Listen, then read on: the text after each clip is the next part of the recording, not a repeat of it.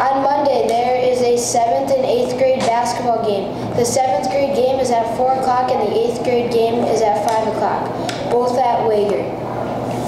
For your lunch.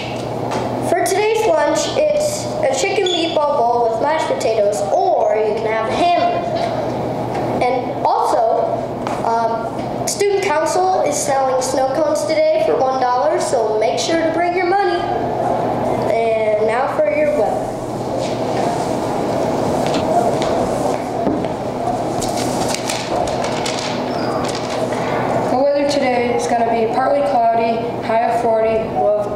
Here are your important dates. Thanksgiving break starts on Wednesday to Friday. How does it feel to be a part of the 7th grade basketball team? Uh, it feels pretty good. And is it a lot to live up to the undefeated boys did last year?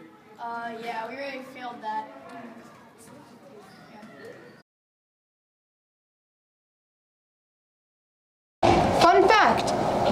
Dartboards are made out of horsehair. What's so good about Switzerland? I don't know what.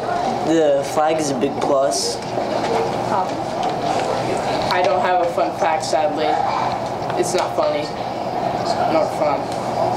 Oh wait, that is a fun fact. Hi. Did they have the joke?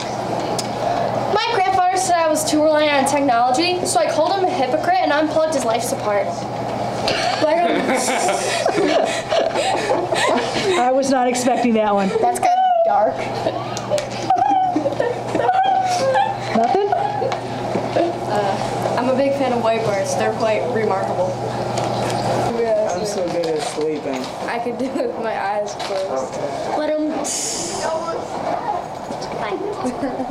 Did you know Detroit is the car capital of the world? How does it feel to be a part of the eighth grade basketball team? Feels pretty good, man. And is it?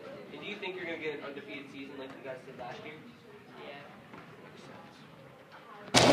Now for your joke. Why did the student eat his homework? I don't know. Why? Because the teacher told him it was a piece of cake. Sign